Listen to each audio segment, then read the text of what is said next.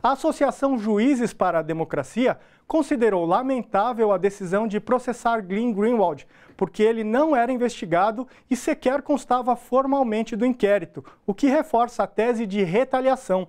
A Ordem dos Advogados do Brasil afirmou que a denúncia descreve fato que não é crime e, portanto, criminalizar mera divulgação de informações é, significa risco de liberdade à imprensa.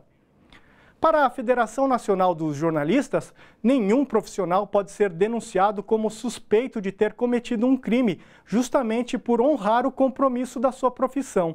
Em nota, o site The Intercept Brasil denunciou o ataque a todo o jornalismo brasileiro e destacou que a sociedade não pode aceitar abusos de poder como esse. Em nota, a Associação Brasileira de Imprensa manifestou solidariedade a Glenn Greenwald. Segundo a ABI, a denúncia é inteiramente inepta e representa um atentado à Constituição, um desrespeito ao STF e à Polícia Federal e uma grotesca tentativa de manipulação.